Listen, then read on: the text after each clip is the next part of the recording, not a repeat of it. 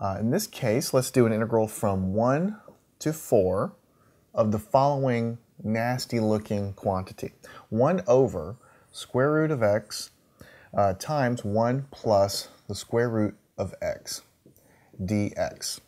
Now prior to this point in calculus, an integral like this, you know, should uh, frighten and scare you. you know, I'm just kidding a little bit, but it does look a little bit intimidating, right? I mean, you've got square roots going uh, running around, they're wrapped up in you know, some parentheses on the bottom, and then the entire thing is on the bottom of a fraction. So that's just kind of ugly.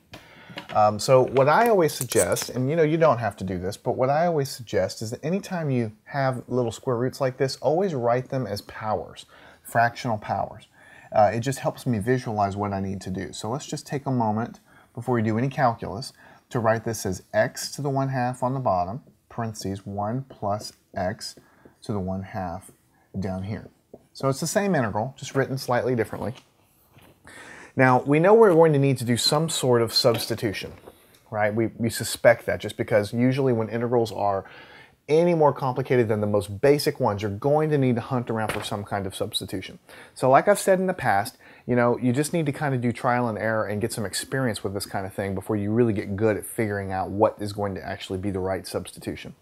But we can hunt around and do some educated guessing.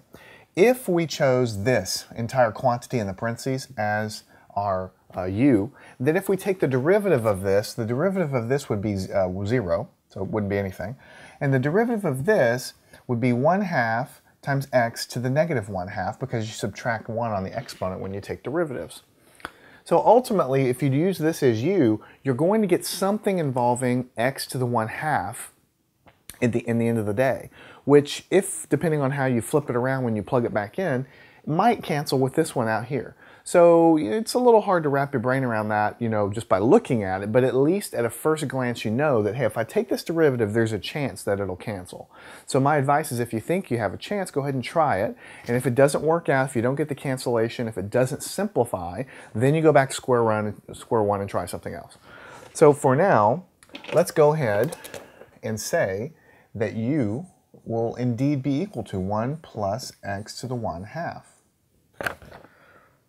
Then du dx, the derivative of this with respect to x, this will be 0.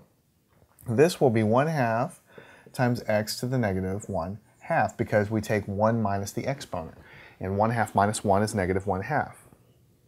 All right, so then what we're going to have, to save space a little bit, I'm going to write the simplification over here. dx, solving for dx, is going to be equal to what we're basically going to do is take this whole thing and move it over there. So basically what we're going to have is 1 over 1 half x to the negative 1 half du. Just think about it. You move the dx over here and take this whole entire quantity and move it underneath to, to solve for your dx. Now this looks a little ugly with the fraction on the bottom and all that, so we'll simplify it. We'll say that dx is equal to, the 2 can flip on the top, and look here, the x to the negative 1 half can also flip to the, to the top. So you have 2x to the positive 1 half du. Make sure you understand what's going on there. Basically, since you have 1 over 1 half, you can flip this fraction over and the 2 will go on the top. And since you have a negative exponent, you can pull it to the top and make it positive. So this is our substitution for dx. And look, we have an x to the 1 half which should cancel with our x to the 1 half that's on the bottom when we get around to, to actually doing the final substitution. So what we're going to have is the integral from 1 to 4 of the quantity uh, 1 over x to the 1 half times u. u is because this is what we define u to be. And then dx we've defined to be 2 times x to the 1 half d u. And this works out pretty darn nicely because we have an x to the 1 half on the bottom, we have an x to the 1 half on the top. So really all we have at the end of the day is we have a 2 and then we have a 1 over u. So just to rewrite this, it'll be 2 times the integral from 1 to 4 of 1 over u du. This is something we know how to integrate because we've been talking about this. When you have the integral of 1 over your variable, it's just the natural log. So what you'll have is 2 times the natural log absolute value of u, don't forget your absolute values.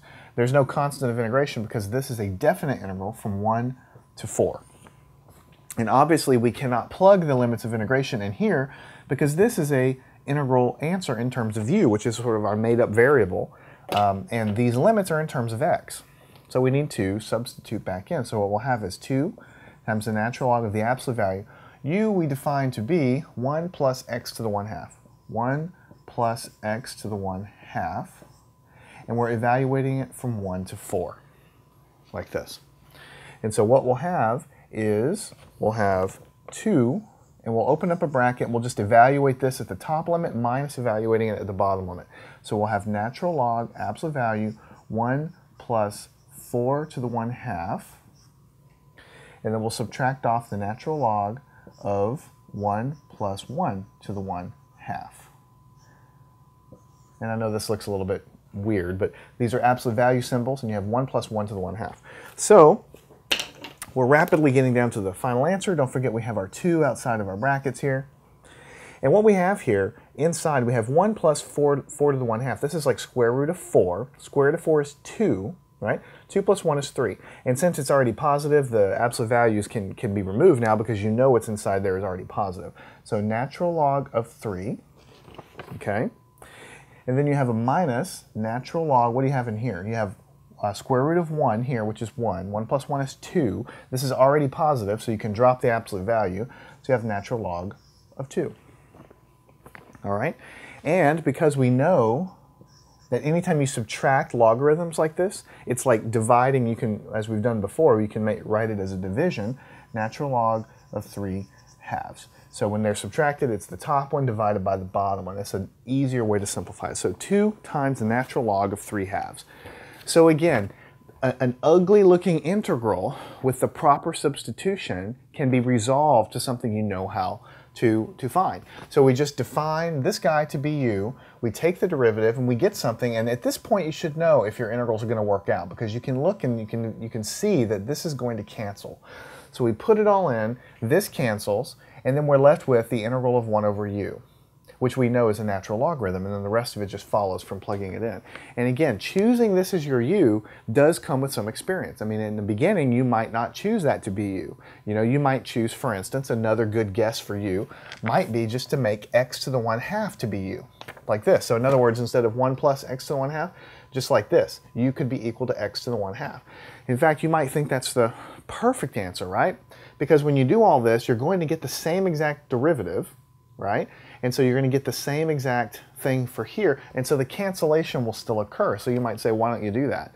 Well, if you choose just x is equal to that, x to the 1 half, uh, u is equal to x to the 1 half as the uh, variable for u, then the cancellation will happen, but you won't have 1 over u down here. You will have, because if you think about it, if you, if you choose this to be u, you will have 1 over 1 plus u down here. This will still cancel if you do it all, but in the end, you won't have 1 over u. You'll have 1 over 1 plus u. And 1 over 1 plus u is not something we know how to integrate.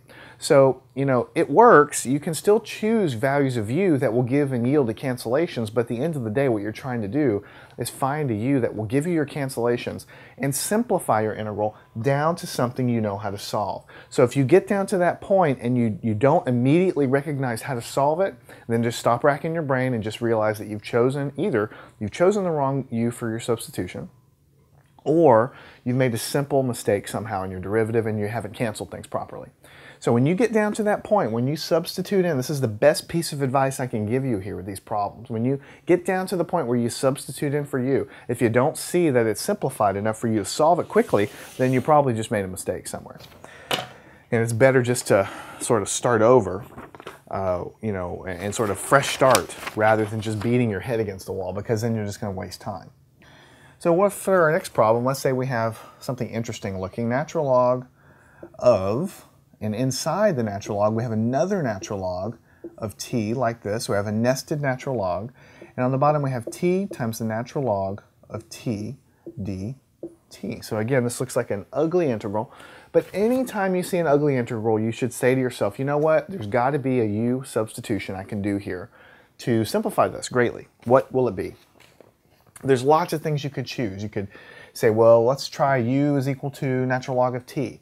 Let's try u is equal to t. Let's try lots of things. Well, the one that works when you try a bunch of paths is u is equal to the natural log of the natural log of t. I can't really give you and tell you why that jumps out in the beginning.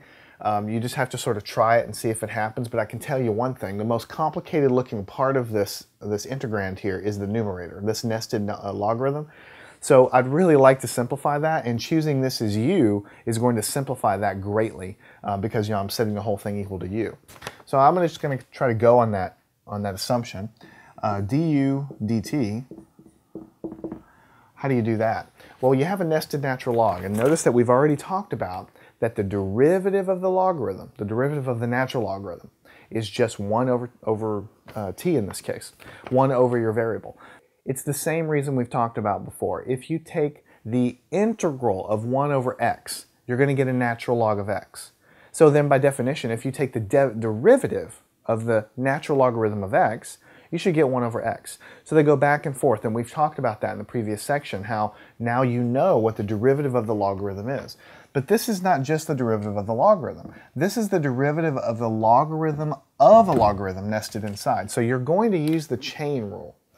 So using the chain rule here, this is the outer logarithm. So the first derivative would just be 1 over natural log of t, right? Because the inside is what we're just pretending to be, you know, our dummy here. And so it goes on the bottom, 1 over natural log of t. But then you have to multiply by the derivative of the inside.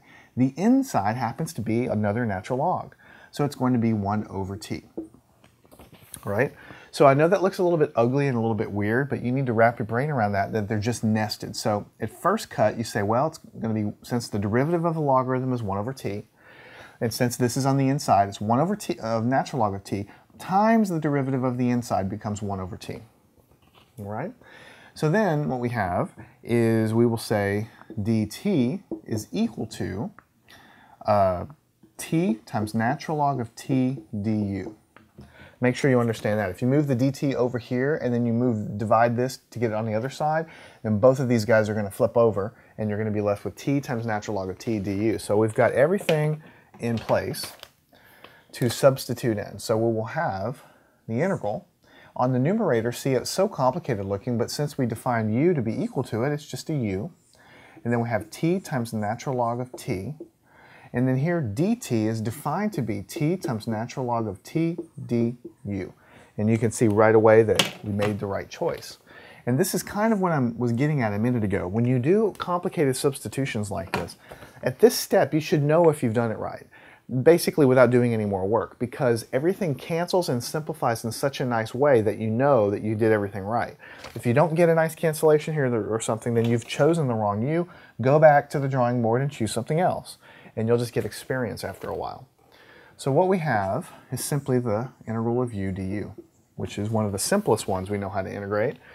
So what we'll have is 1 half u squared plus a constant of integration, right?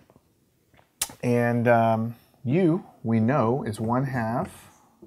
u we've defined to be natural log of natural log of t. That whole thing is squared plus a constant of integration. So the answer is 1 half natural log of the natural log, quantity, entire quantity squared, plus a constant of integration. And I'll leave it as an exercise for you. If you take this answer, just like all answers to these integral problems, if you take the derivative of this, you should get back the inside of what we have here. That's just how integrals work. I mean, how you can always check your work if you really want to know. So take the derivative of that and you'll find out when you simplify it, you can get this guy right there. So that concludes this section on logarithm as an integral or logarithms involved in integration. And it also concludes these, uh, this topic, right, of, of dealing with 1 over x in an integral or 1 over u or 1 over t. The bottom line is that what we were trying to teach is that whenever you see 1 over x or 1 over t or 1 over u in an integral, you always are going to get a natural logarithm as a, as a result.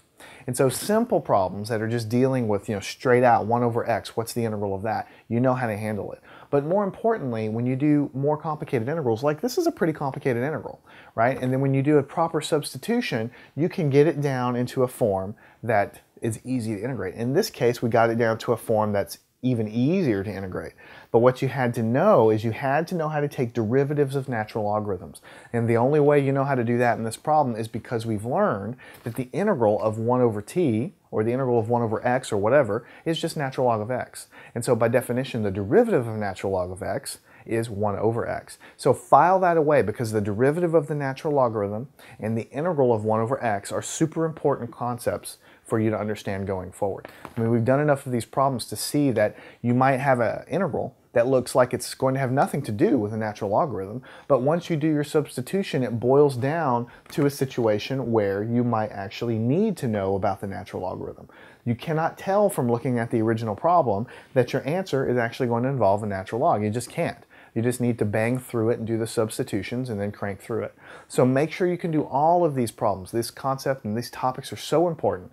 Make sure you can do all of these and then follow us on to the next section where we will continue learning uh, techniques of integration, getting lots of practice, uh, and just learning how to sharpen your skills with integration and calculus. Learn anything at mathandscience.com.